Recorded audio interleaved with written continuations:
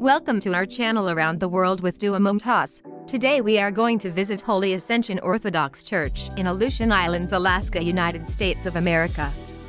If you like our informative video, please click the like button and share with your friends. And don't forget to subscribe our channel and hit the bell icon so you will receive timely notification whenever we uploaded new videos. Let's get started. The Church of the Holy Ascension, also known as the Holy Ascension Orthodox Church, is a prominent landmark in Unalaska, the major community of the western Aleutian Islands.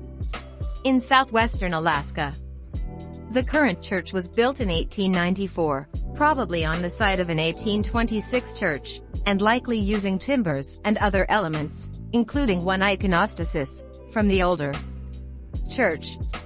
It is one of the oldest churches in Alaska, and is significant as the site from which missionaries brought their religion to the local Aleut people. This evangelization effort was so successful that today's Aleut population is still strongly Orthodox. The church was declared a National Historic Landmark for its architecture and for its role in the history and culture of Alaska. It is the second cathedral church of the Orthodox Church in America Diocese of Alaska, after St. Michael's Cathedral in Sitka, which is also a National Historic Landmark. The Church of the Holy Ascension is located in Unalaska, a community of about 4,000 on the north side of Unalaska Island, the largest of the western Aleutian Islands. It stands roughly midway on a peninsula dividing the Ililiuk River and Ililiuk Lake, west of the main part of the community. The church stands on a property known as the Russian Greek Mission Reserves, 1.5-acre area on which the bishop's residence also stands. The church is a wood frame structure, cruciform in shape, with a bell tower at its western end. The tower is 52 feet tall, starting as a square structure, which rises to a cornice with shallow center, gables on each cornice, and an octagonal cupola topped by a green onion dome, which is capped by an orthodox cross. The tower is connected to the nave of the church by a gable roof narthex. The nave is rectangular, with a hip roof capped by a cupola similar to, but smaller than, that on the tower. Hip-roofed wings containing chapels extend north and south from the near the eastern end of the nave. The apse is at the far eastern end of the structure, with a hip roof that rises only to the level of the cornice of the nave. All of the roofs are covered in wooden shingles painted red, the domes are covered in tar paper, which is painted green. The interior of the church has a fairly uncomplicated layout. The first floor of the tower acts as a vestibule, while the narthex area provides spaces for storage and stairs leading to the choir loft and the belfry, the latter occupying the tower's second level.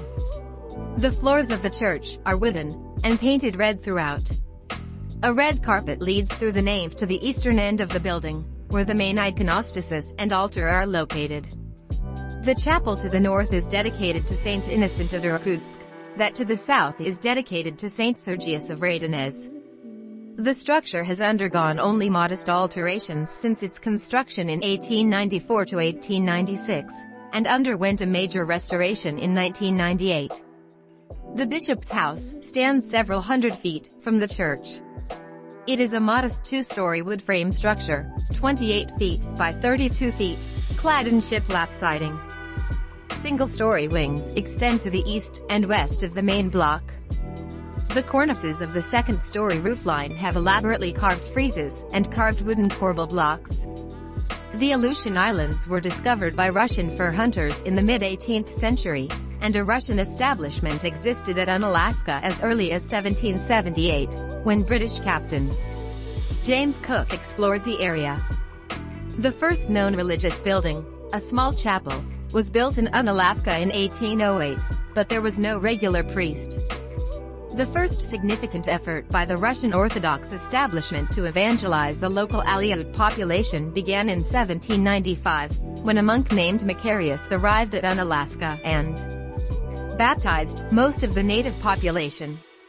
In 1824 Reverend Ivan Veniaminov arrived in Unalaska as its first permanent priest, and led the construction of a church not far from the site of the 1808 chapel. Veniaminov, later canonized as Innocent of Alaska, was an energetic force in the growth of the church in western Alaska. He developed an alphabet for the Aleut language, and established a school to teach the natives to read and write. Veniaminov spent 10 years in Unalaska before being assigned to Sitka, where he engaged in similar activities with respect to the Tlingit people.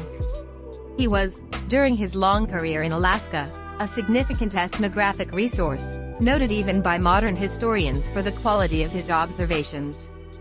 By 1858 the church Veniaminov built was failing due to the harsh climate, and a new church was built, using timbers from the older one. In the 1880s, after a period of decline in the church, Bishop Nestor commissioned the construction of the bishop's house after a visit to Unalaska in which his accommodations were in the living quarters of the local cannery workers. As part of this work a school building was also erected, to which the bishop's house was originally attached. This survived until it was destroyed by fire in 1960. Singing the walls of the house, in the process. The present church was built from 1894 to 1896, after the arrival of Reverend Alexander Kedrovsky. By this time Unalaska had achieved its place as the major port in the western Aleutians, and had grown into a small town. The district Kedrovsky oversaw extended to include the Fox and Pribilof Island groups, and to communities on the Alaskan Peninsula. It is believed that the north chapel of the present church is on the location of the original 1826 church, and that timbers were used from the old structure. In construction of the new one, there is also evidence suggesting that the iconostasis in that chapel is Aleut craftsmanship dating to 1824. During World War II, the native population of the area was evacuated to southeastern Alaska.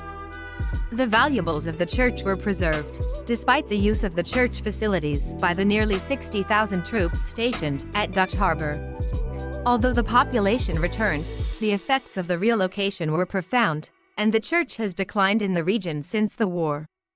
Icons from smaller community churches are now displayed in the chapel of St. Sergius. Thanks for watching. I hope you enjoyed this video. We will see on our next video and will explore new places of Aleutian Islands, Alaska. United States of America.